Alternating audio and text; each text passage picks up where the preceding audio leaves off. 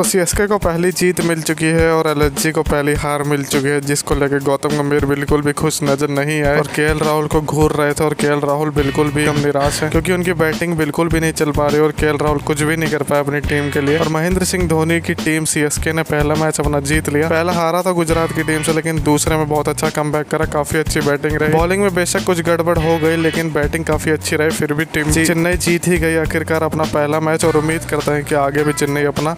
हर match जीतते ही रहे